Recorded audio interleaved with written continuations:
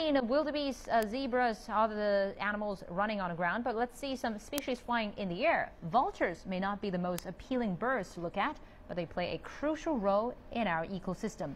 They clean the environment by clearing uh, carcasses, and without them, the environment would be uninhabitable. But their numbers are dwindling fast. South African Kerri Wolter is trying to change that. She works tirelessly for the conservation of the vultures, treating the wounded and sick before releasing them back to the wild. And Clementine Logan has the story. These impressive birds help balance out our ecosystem, but they're dying at an alarming rate due to urbanization and loss of habitat. Kerri Wolter and her team are trying to boost their numbers before it's too late. After hand rearing a vulture, Kerri decided to devote her life to protecting them, eventually founding Vulpro. It's the only approved vulture conservation organisation in the country and is entirely dedicated to rehabilitating sick and injured vultures and releasing them back into the wild.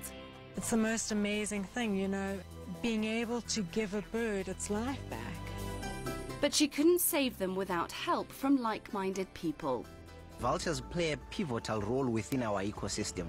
The key role that vultures play is to clean the environment. Now, without a clean environment, basically we cannot survive because we'll all die of diseases, we'll all die of unsanitary conditions. But by virtue that they are there and they're doing all the cleaning up, they're eating away all the animals that are dying, they're eating up everything that we really would consider dirty.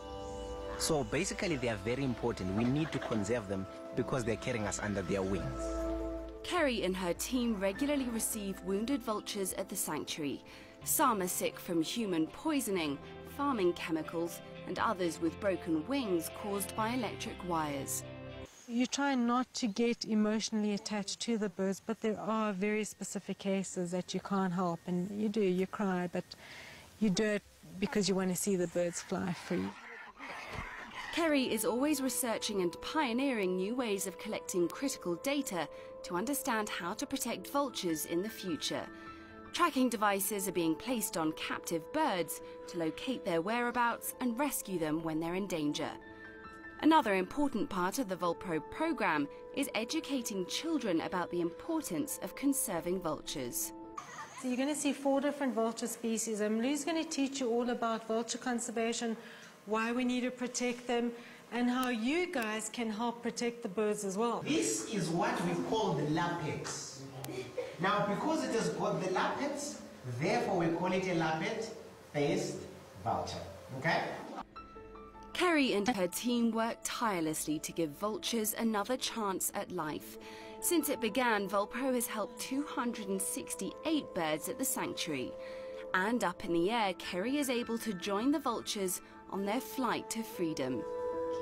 It was the most incredible experience.